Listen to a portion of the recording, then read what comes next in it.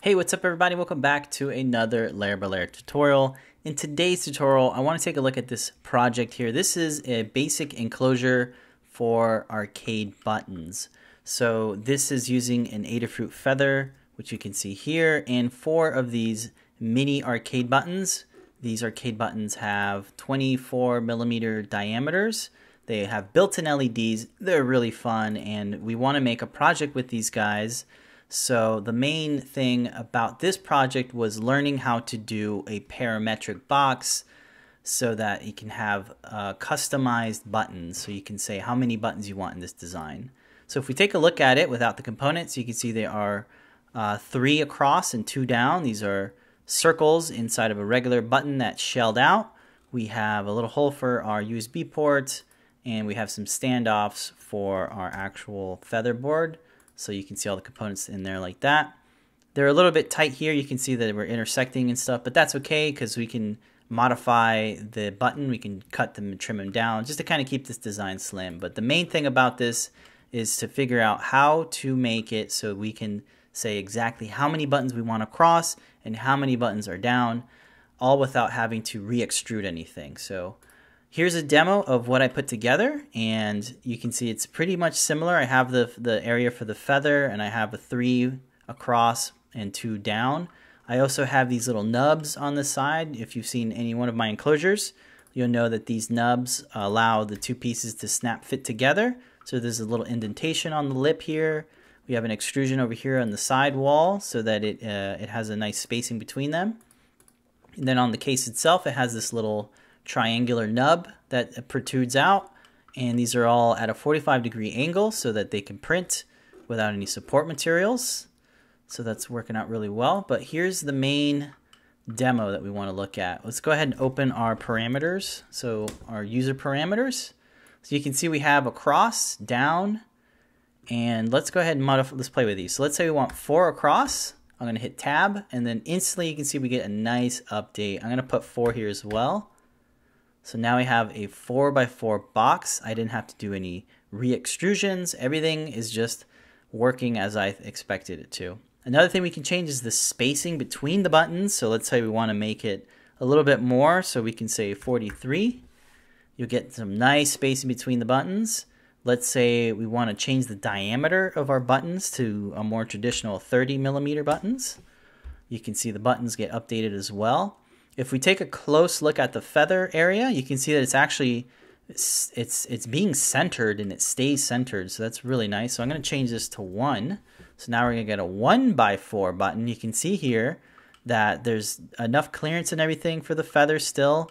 And you'll notice that our nubs have elongated. So as we change the number of buttons, our nubs are dynamically changing as well, which is really powerful and really nice. So now I have this uh, one by two button box, which is kind of neat. Uh, the four by four. You can have fun and come up with a lot of different uh, customizations with this. So I think this is a really great way to make uh, any type of thing that needs to hold something. Uh, maybe you want to make a, a, pencil holder, an SD card holder, or something that's uh, that's driven with a bunch of uh, repeating patterns. So the real goal here was figuring out how to make uh, these cutouts be parametric. Uh, so I'm going to show you that now. All right, so I'm going to start off with a new design. And the main thing about this is we need to start uh, from the very center origin. So I'm going to start by making a new component. And I'm just going to call this case. Now inside the component with it activated, I'm going to make a circle and I'm going to draw it here looking at the top view. I'm going to click on the bottom kind of floor plane. Now, in starting from the very center of this grid, I'm going to start and draw out my uh, my my diameter for the button cutout. So this is going to be 24 millimeters, and I'll hit enter. But before I finish this out, I'm going to open the change parameters and I'm going to start adding my parameters. So the first thing is the diameter of the button and this is going to be 24 millimeters. Let's go ahead and add the height of our, of our enclosure, which will be 33.5. It can be whatever we want after the fact, but I'm just making it that number. The next thing I'll do is a cross, and it's important to hit unit and say no units, because this is just a regular number. So I'm going to start off with 2, And then I'll add another one. This one will be down. Again, change the unit from millimeters to just no units and then put two. Uh, the next thing will be the spacing between the buttons. So I'll just call it spacing. And I think 34 millimeters is a good one. And we'll leave the unit at millimeters. We can change it if we want later. So now we have our diameter, our height, across, down, and spacing. And that's really all we need uh, to get this to go. So I'm going to go ahead and uh, modify that 24 value and change it to just diameter. So now I can parametrically change that whenever I need. I'll hit stop sketch. The next thing I'll do is I'll click on that circle profile, hit E on my keyboard, and then I'm going to type in height for the, uh, the actual uh, extrusion distance. So now I'll hit OK, and now I have our first body, which is going to be our cutout. The next thing I'm going to do is make another sketch, and this one is going to be our box itself. So I'm going to hide body one for a second and then click on the floor plane again looking from the top. The next thing I'm going to do is I'm going to draw a rectangle and the rectangle is going to go around this area here, around the center. So I'm going to click somewhere over here, drag out a square, and I'm just going to click right there. I don't have any parameters set, uh, any, any dimensions set, but we do have some degrees of freedom. So I can click this around. You can see the box is kind of moving around like that. So the first thing I'm going to do is I'm going to add a dimension from this edge here.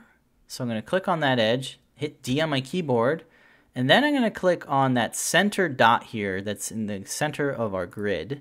Pull that out, and then I'm going to type in padding.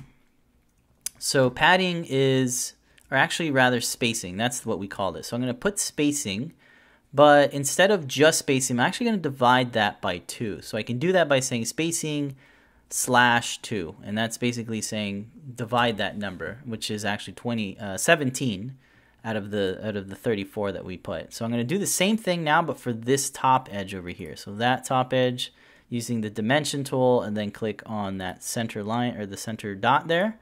And I'm going to do the same thing. So pat or spacing divided by 2. And I'll hit enter. So now we can see that we have some dimensions applied here. So this will always be a certain distance away from that. The next thing I'm going to do is I'm going to actually apply another sketch dimension, but this time to this bottom guy over here. So I'm going to click on that, select it, and then hit D on my keyboard.